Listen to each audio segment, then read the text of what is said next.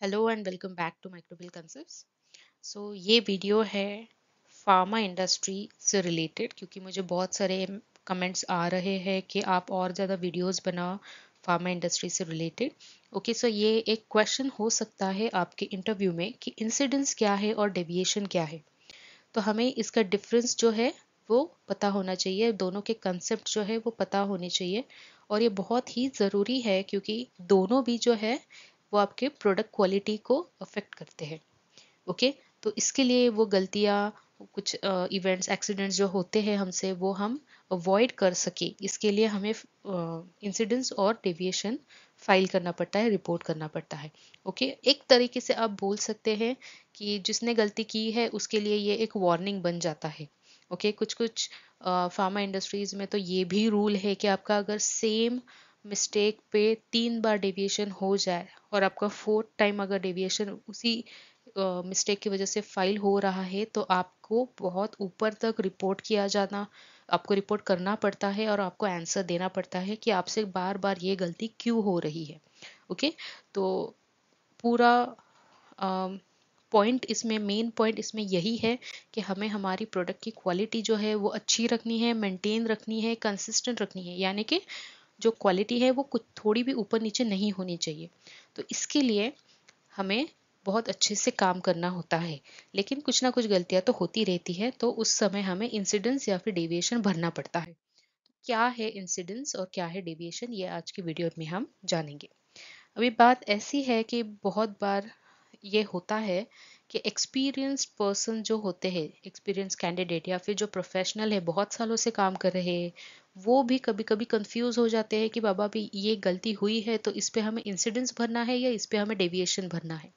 Okay तो ये हम यहाँ पे आज क्लियर कर लेंगे। तो सिंपल सी बात है डेविएशन पक्का दिमाग में ये बिठा लो कि डेविएशन जो है, वो आपके रिटर्न प्रोसीजर के ऊपर अगर कुछ गलती होती है रिटर्न प्रोसीजर के ऊपर से, यानी कि हम अभी एक एसओपी है। कि ऑटोक्लेव कैसे चलाना है?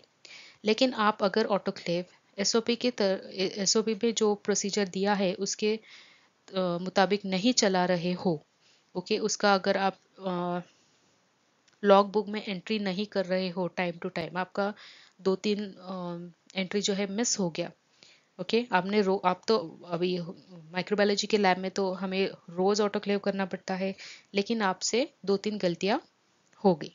आपकी एंट्री मिस होगी तो आपको यहाँ पे डेविएशन भरना पड़ेगा। क्यों? क्योंकि हमारी प्रोसीजर में है, हमारी एस में है कि आपने इस समय पे ऑटोक्लेव अगर ऑन किया है तो आपको लॉग बुक में उसकी एंट्री करवानी है। सही है?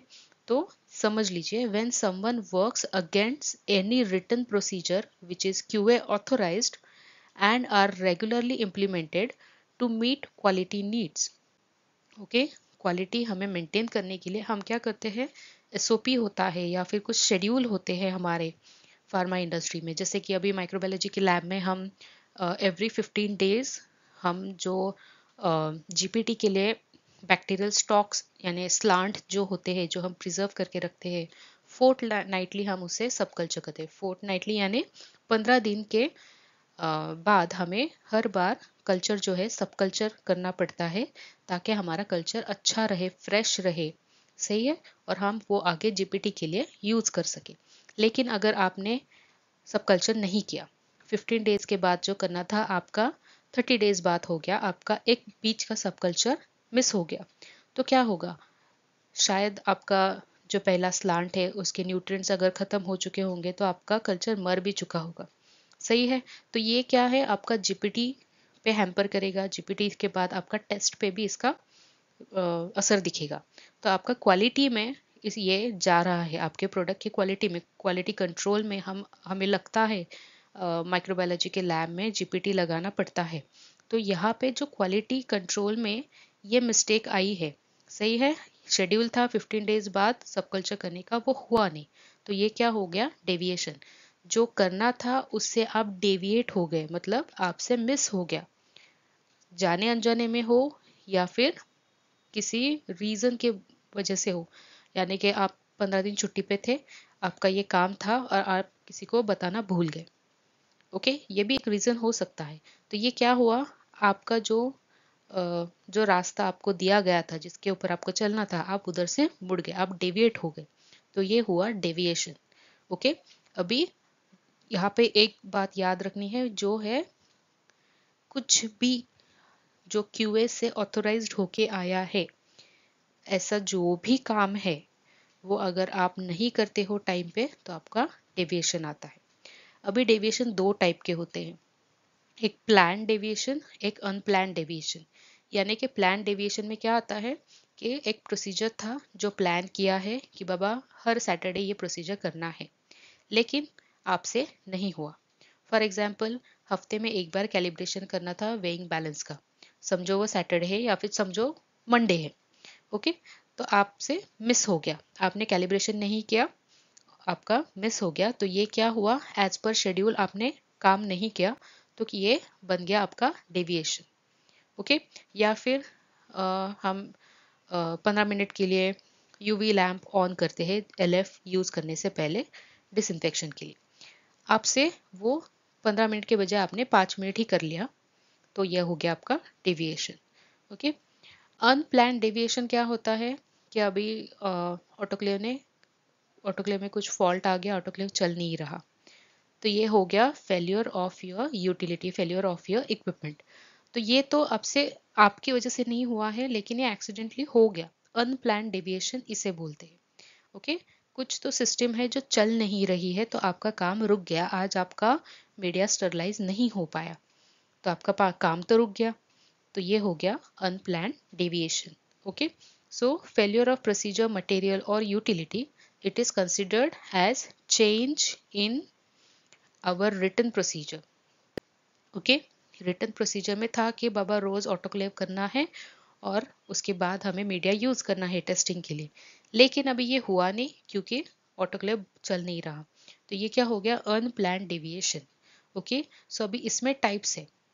क्या है? क्रिटिकल क्रिटिकल में क्या है? आपसे एसओपी में जो बोला था, आपसे नहीं हो पाया फॉलो ये हो गया critical SOP standard operating procedure is must हर जगह पे किसी भी काम के लिए हमें फार्मा में ना just not just pharma food industry हो कॉस्मेटिक इंडस्ट्री हो डेयरी इंडस्ट्री हो, हम एसओपी के मुताबिक चलते हैं.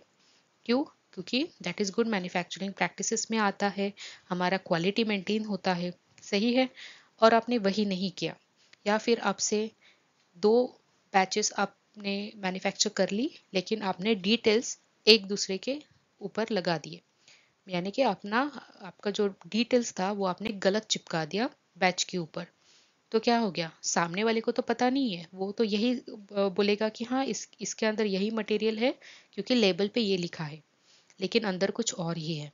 तो ये क्या हो गया? क्रिटिकल मिस्टेक है ये तो क्रिटिकल डेविएशन आ गया। दूसरा है मेजर अभी मेजर में एक एग्ज़ाम्पल यहाँ पे है, जो कि है line clearance not taken from QA अभी just not just line clearance even आप जब एसओपी बनाते हो एसओपी का भी एक डेट होता है कि बाबा ये एस ओ यहाँ तक करनी है, उसके बाद इसको रिवाइज करना पड़ सकता है तो आपको फिर से एसओपी बनाना है रिवाइज करना है, कुछ मिस्टेक्स हुए हैं तो वो मिस्टेक्स गलतियाँ उसको निकाल के आपको फिर से प्रिंट आउट लेना है और आपको क्यूए से ऑथोराइज करना है। क्यूए पर्सन का वहाँ पे साइन होना बहुत ज़रूरी है। ओके क्यूए पर्सन उसको रिव्यू करता है। क्यूए में भी उसकी एंट्री बनती है कि बाबा, ये एसओपी जो है, ये फिर से रिवाइज हो गया।